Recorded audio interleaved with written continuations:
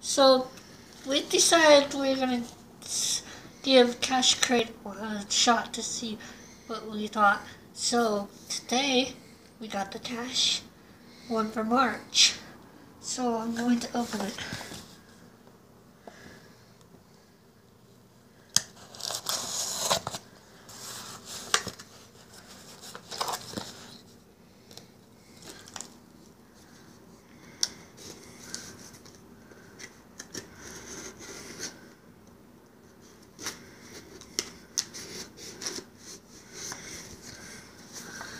So let's see what's in here.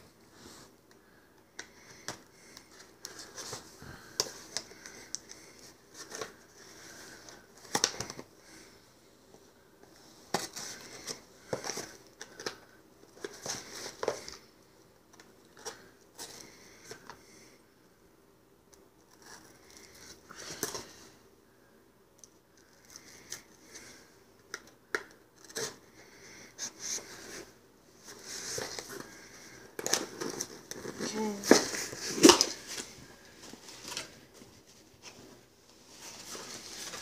So, first thing is. What does this say? What does this paper let's say? Just, let's just the paper says what's in it. I'll read it. So it's a and Find journal, a base cape with case capsule, a, dick, a tick wrinkler, performance for cache hiding, 15 years geocaching patch, and uh, 15 years trackable. Let me see the. Let me see the thing.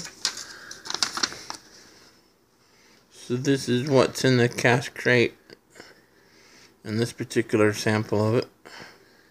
So, first of all, here's a 15 year trackable coin. Cool.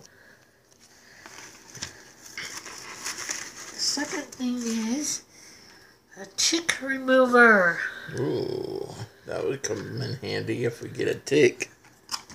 Or you could just take it off of me, and I can do the same for you. Okay, well, here, the next thing is a 15 year little patch. Is that trackable? No, it's just a patch. Huh. That's cool.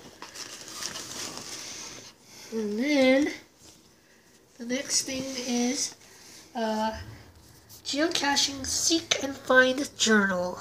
Seek and find journal, huh? So you can write things down like the name of the cache and who it was done by and the difficulty star wise. And then you could say, I searched with, like, if you went with Traveling Trio or whatever. Huh. That would be kind of cool. So you could say, you, I went caching with MJG retired. the next one is, it says it's a base tra- case. So it looks like a huge nano. Huh. I mean, huge bison tube. That's what it looks like. That's actually pretty cool.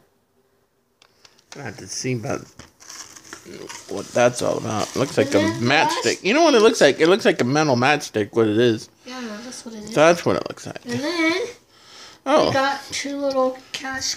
like preforms. Yeah. Those And are it co- comes those with little handy. log books and a pencil. These preforms would come in handy, actually. So that is what we got in the March Cache crate. cache crate. Sweet.